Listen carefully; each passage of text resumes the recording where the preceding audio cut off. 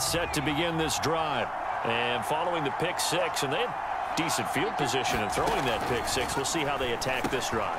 And I think all you say to your guy is, listen, let's just take care of the football a little bit better. Make some